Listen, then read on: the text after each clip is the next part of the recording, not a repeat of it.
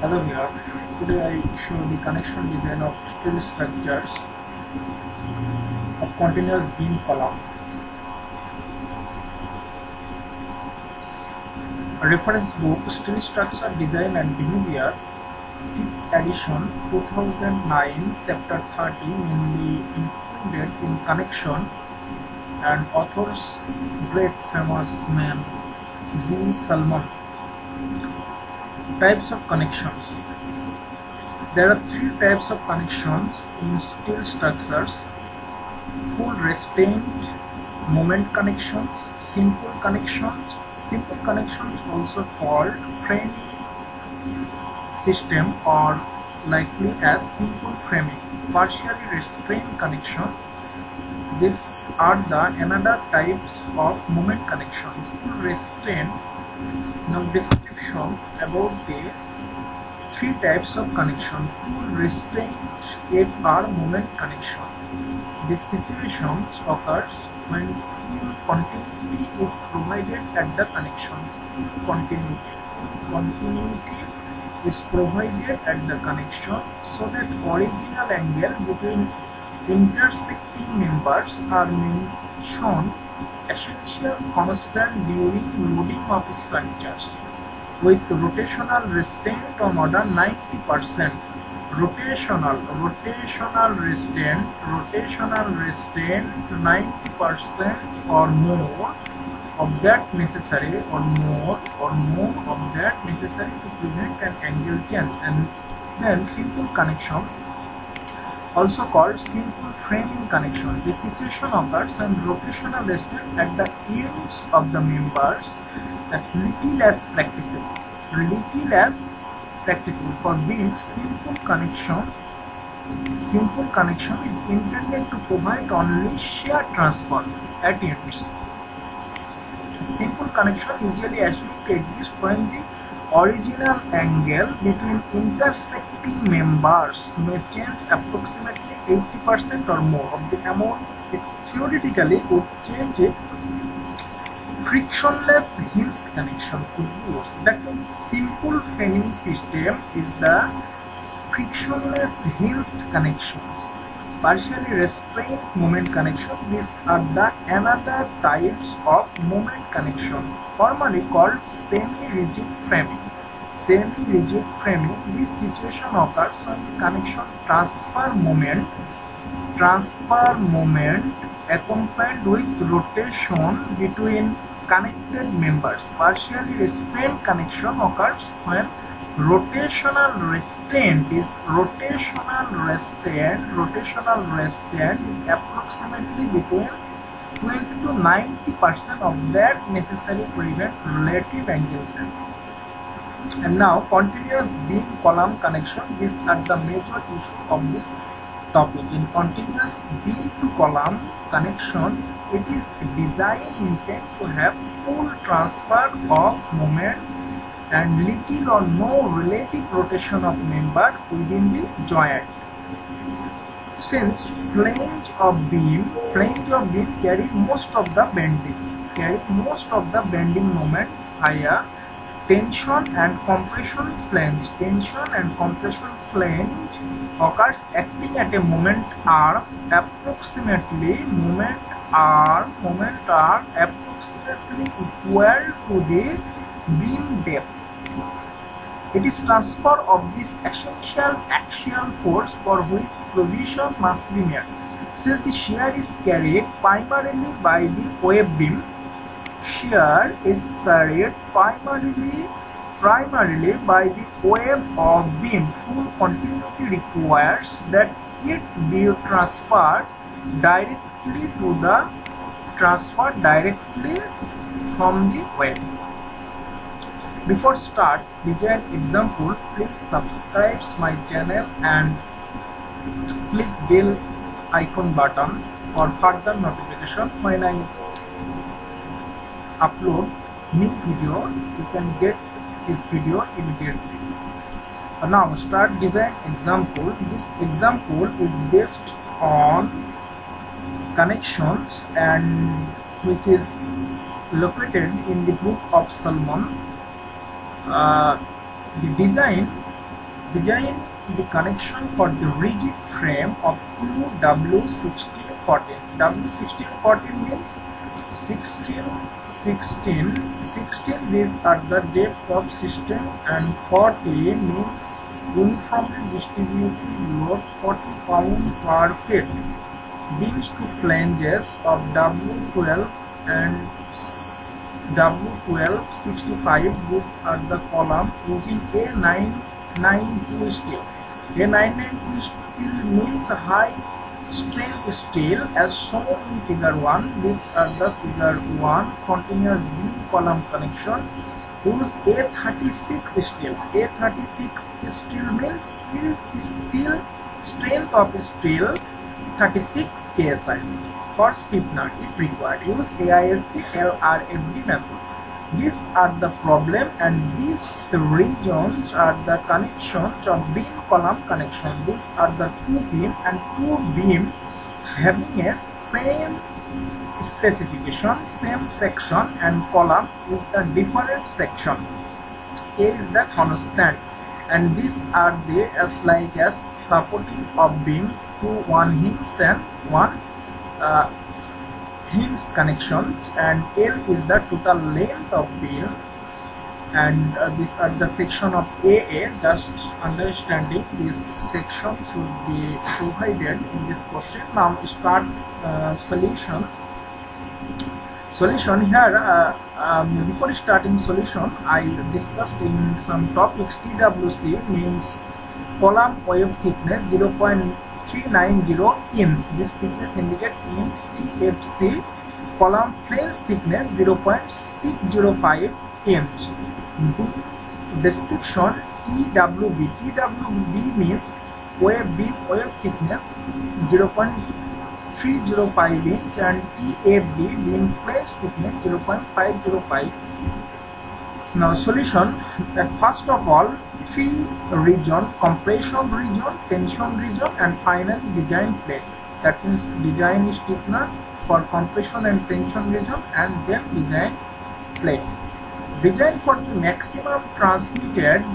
maximum transmitted by the beam that means compression region should be designed transmitted by the beam. Thus the maximum factor force will be assumed to be design strength of the beam flange. Design strength of the beam this is the law. Design strength of the beam PFB equal to 5 AF FY from chart the beam flange 6.995 inch. You uh, also try the beam flange is the another way provided in this lecture another way to calculation of beam section area of beam section a equal to load load means uh, these are the load this the, these are the beam load pound per linear feet and unit rate of steel as usual unit rate of steel 490 pound per feet cube that is pcf into 144 inch square you get in this way you can calculate this area mm, uh, calculate sorry calculate. Bf flange width of beam 7.11 inch. But in the design the beam weight should be used 6.995 inch. That means 6.995 inch uh, is input and this uh, force are the design force and these are the demanding force. Now design of stiffener how stiffener is required or not? To avoid stiffener must uh, satisfy following condition. Condition check. Check number one local web yielding pbf these are the equation of local web yielding now simply provide this value in this equations and uh, get the result 138 kips 138 kips is the capacity of local ending to protect local ending this capacity is less than this and the less than this value so in this situation of local yielding stiffener is required. And web crippling web crippling is the another checking method. These are the equations of web crippling. And where d is the overall depth of column as mentioned in the question 12 inch and pb equal to athokips this uh, these force are the capacity to avoid use using stiffener these force are also smaller than this design value. So uh, this capacitor also less than his demanding value. Now finally compression compression buckling of web uh, the, uh, these are the equations of compression buckling. These equations this following equation now we provide this value at uh, from AISC manual AISC manual um, sorry these equations are not TI uh, TWC Q. These are only TWCI mm, uh, from equations in Atwa and uh, now this formula now just repeating this formula in this manual. And uh, protect the comment restricting stop protection and stop protection and this formula not used in not used this. Topic TWC TWC finally mm, TWC TW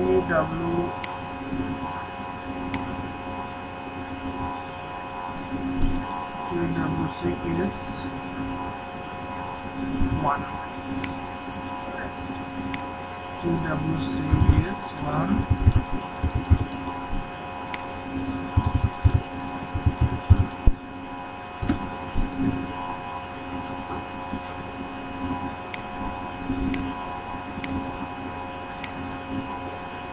okay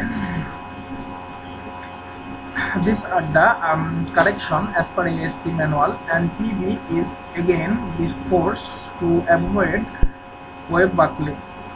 To avoid uh, the but this force also equal to the capacity force. So command compression stiffener are required. Local web that means all force are equal or less than the demanding value 159 159 kips so stiffeners compression stiffener are required. Load local web yielding web crippling and compression buckling of web capacity are less than design strength.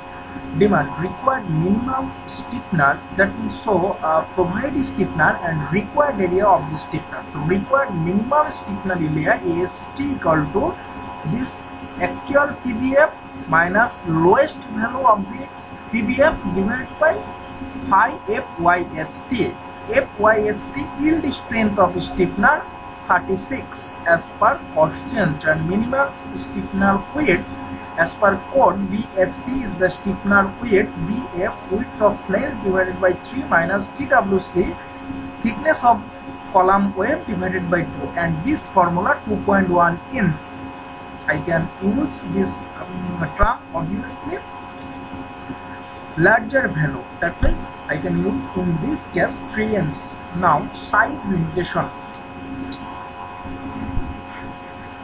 calculate the thickness of the minimum width of the stiffener now calculate the size of the stiffener minimum stiffener thickness size means thickness of the stiffener minimum stiffener thickness ts equal to f tab divided by 2 that means 0.252 in this value increasing uh, take the larger value from this so 5 by 16 inch local buckling limits elastic analysis local buckling limits based on elastic analysis and plastic analysis elastic analysis these are the formula lambda equal to bst divided by ts must be less than this value must be less than this value and finally minimum stiffener thickness ts equal to এত inch. Now plastic analysis. In plastic analysis lambda equal to bst divided by ps less than lambda p. Lambda p means plastic lambda. Only main difference of these two equations are is this factor 95 and 65 and then minimum stiffener thickness eto so in this thickness in this thickness in this thickness are also close to the thickness 1 divided by 14 inch. For tension element, the local buckling limits do not apply. That means in uh, local buckling limits, elastic and plastic. For tension element, these limits do not apply. So, size limitation category to evaluate minimum stiffener thickness should be provided in tension and compression compression region. So stiffener thickness exists size limitation. So use stiffener thickness TS equal to atho inch. Now length of stiffener. Length of stiffener is 25 EWC. Thickness of wave column is atho inch as per AIC manual. Use partial practically available length. Now practically available length this length are these length are not available in practical so practically length available this is this length this length are always greater than this length check column strength of stiffener at now say column strength of stiffener radius of gyration. Radius of gyration is the moment of inertia divided by area.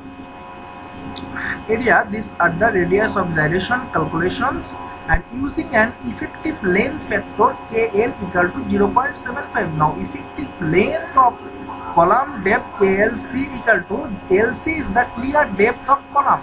Depth of column 9 inch. Now KLC divided by R equal to 8 approximately 8 thus now critical now critical force is at KSI forms chart. Now gross stiffener area gross stiffener area 2 BST is the width of stiffener thickness of stiffener and these are the length of thickener aspers are not used in this case the length um, the length this length this length should be used this length should be used in the design. This length should be used in the design and thickness of the column web at square inch now column strength.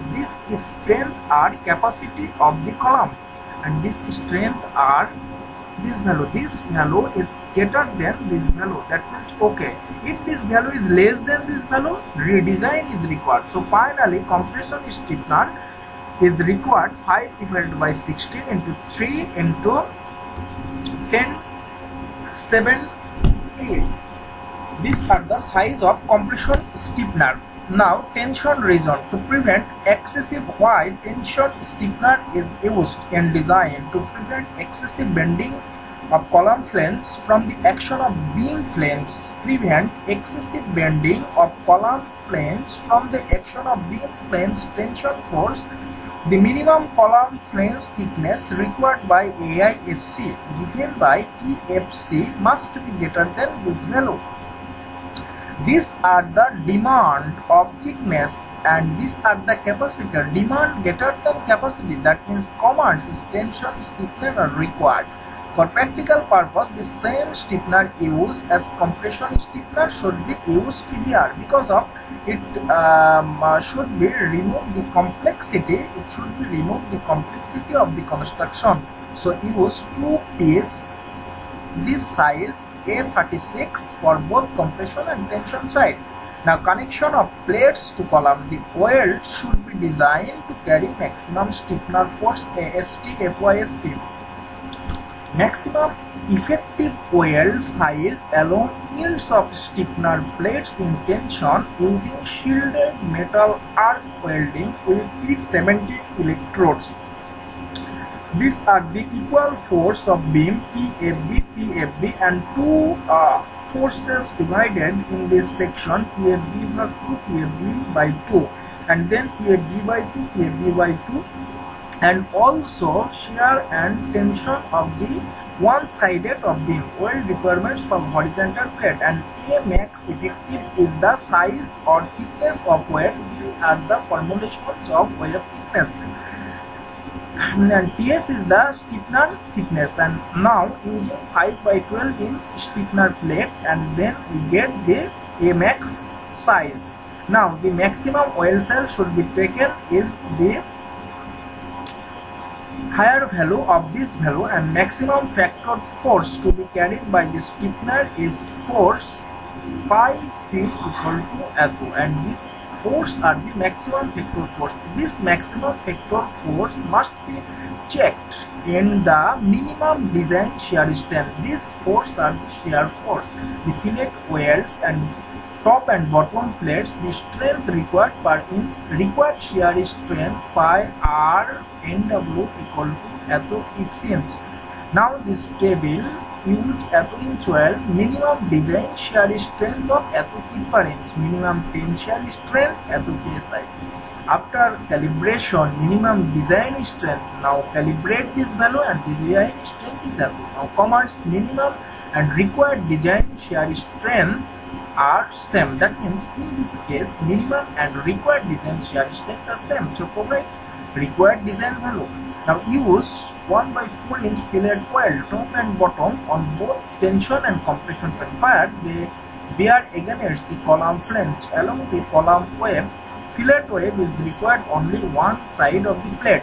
Note when a beam frames in from one side only, the weld force T1 are designed as in the symmetrical case additional however shear force V1 V1 must be developed in accordance with this manual to take the portion of the unbalanced force which comes to the stiffener plate in case V1 equal to P1. These are the design connection. These are the design stiffener nodes. These are the section sorry this value design stiffener design stiffener value in this case design stiffener value 5 divided by 16 5 divided by 16 in this case design stiffener value and this is the design beam column connection